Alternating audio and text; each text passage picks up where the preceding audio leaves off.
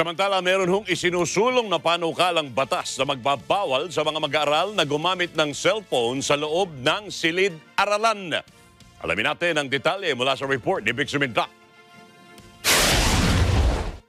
Inihain ngayon sa mababang kapulungan ng Kongreso ang panukalang batas na nagbabawal sa mga estudyante na gumamit ng cellphone o iba pang electronic device habang nasa loob ng klase.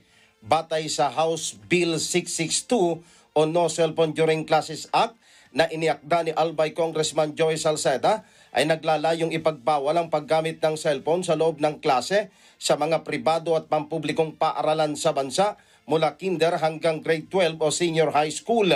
Nakapaloob sa panukalang batas ni Salceda na maaari lamang magamit ng estudyante ang kanyang cellphone kung mayroong emergency. Ipinaliwanag ni Salceda na kailangang walang dapat makagambala sa mga estudyante habang nasa loob ng klase upang maintindihan ang mga leksyon na tinuturo sa mga mag-aaral.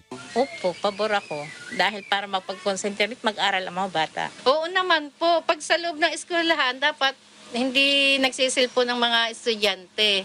Vic Sumintak para sa mata ng Agila, matatag, matapang, matapat. Maraming salamat sa inyong pagsubaybay sa Mata Agila. Para malaman ang matatag, matapang at matapat na mga balita, ipalo lang at mag-subscribe sa AtNet25 TV.